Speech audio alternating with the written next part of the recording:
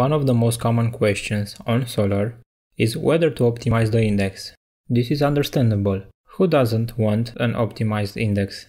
Optimize is an operation that forces Lucene to merge existing segments into specific number of larger segments with the default being 1.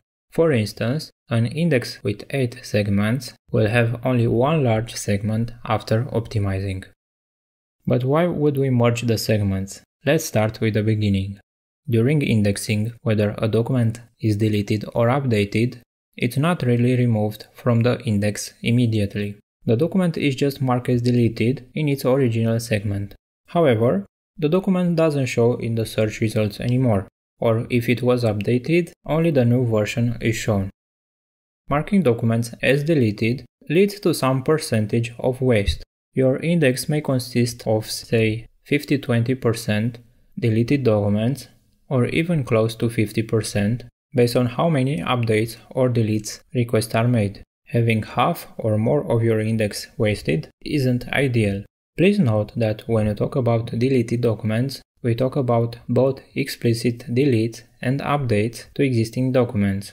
The latter, updating documents, is implemented as a delete of the original document followed by an add.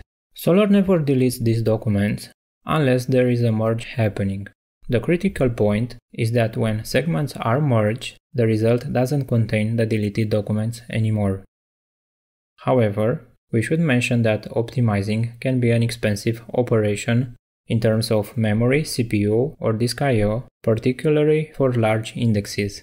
It's not uncommon for a full optimization to take hours for a large index.